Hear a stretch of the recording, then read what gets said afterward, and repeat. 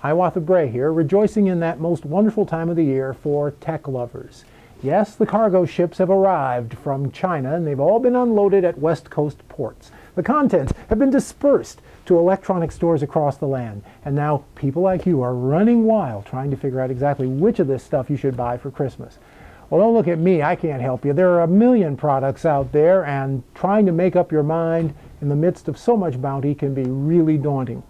Well, maybe I can offer a few suggestions, things that I've seen over the last year that I think are really kind of cool. Let's just sort of see if we can shift the pile a little bit, shall we? Let's start in, of course, with the obvious suspects.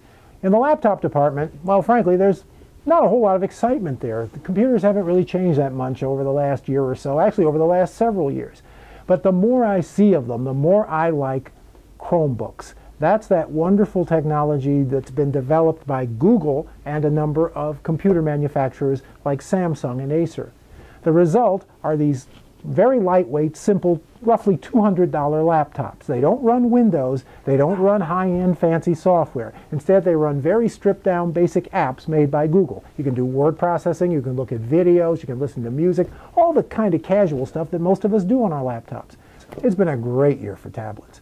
You've got the iPad Air and the new iPad mini with a really upgraded Retina display from Apple. But Apple's market share in tablets is plunging because so many other people have got good stuff to offer as well. The Google Nexus 7 got refreshed this year and it's really good. But the really exciting thing that happened this year is what Amazon.com did with the Kindle Fire. First, they gave it a much better screen than the first edition of the Kindle Fire HD. Now it looks really good. But secondly, they came up with the greatest innovation in years to customer service, Mayday. That's a feature on their tablet that lets you touch an icon and immediately be connected to a living human being. You can even see them because there's a little video of the person you're talking to right on the tablet screen.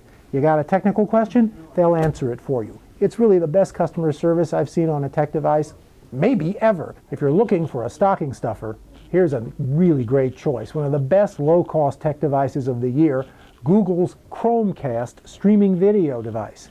This is a little thing that really basically looks like a USB drive, but instead of plugging into a USB port, it plugs into the HDMI port on your high-definition TV.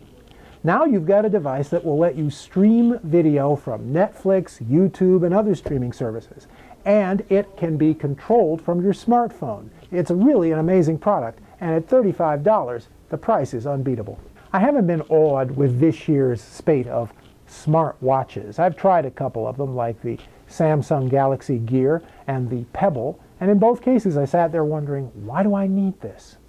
On the other hand, I have been a little bit more impressed with simpler devices like the ones made by a company called Fitbit. These are basically fitness monitors that you strap to your wrist and send information about your physical movements to your smartphone. In other words, you can constantly track how many miles you walked that day, how much exercise you've gotten, how many calories you've burned. And you can build up on your phone uh, a long-term record of your physical fitness activities. It's just a thing to help you keep those New Year's resolutions. And you can get devices like these for around 100 bucks, so the price is right. I spend all year plowing through this stuff, and even I haven't gotten jaded yet. The, the quality and the innovation that you see in a lot of this electronic gear that I get to write about is absolutely amazing. And even though personally I, I'm surrounded with it and would rather probably get a nice sweater or a pair of socks for Christmas, I guarantee you that if you head off to the local electronics store, you'll be able to find something that your friends and family will absolutely love. From the Tech Lab, this is Hiawatha Bray.